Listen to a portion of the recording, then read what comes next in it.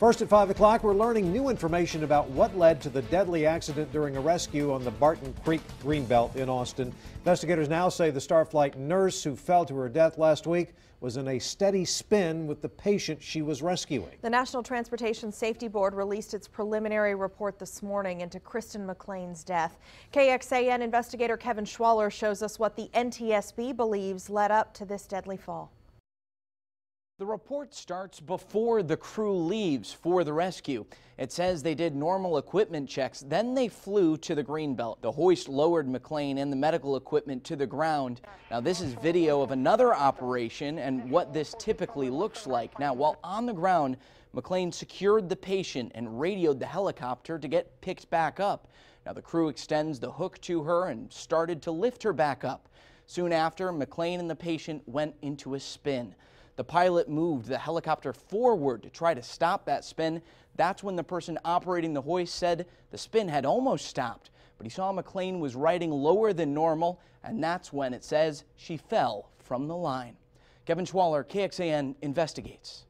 The report also confirmed the helicopter had video and voice recorders. Those were sent to a lab in Washington, D.C. And just a few minutes ago, Starflight announced it will return to flying for the first time since McLean's death. KXAN's Angie Bevan joins us live downtown with the details on that. Angie?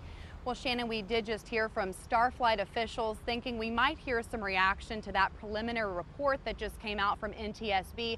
However, the officials here said they didn't have a specific comment on that, but we did learn a lot more about how Starflight plans to move forward. And the big takeaway here, of course, is that Starflight officials announced their return to service. They plan to start helicopter EMS and air ambulance operations tomorrow at 7 o'clock a.m. So that'll be Wednesday at 7 in the morning. The crews today took part in preparation flights for their return to service, and these flights are short in duration and were scheduled to occur throughout the day. However, Starflight will not yet resume the hoisted air rescues like the one in which Kristin McLean died. As they prepare to take flight at 7 o'clock tomorrow morning, the Starflight team is having to digest the information from the NTSB report. I think it's a wide range of emotion.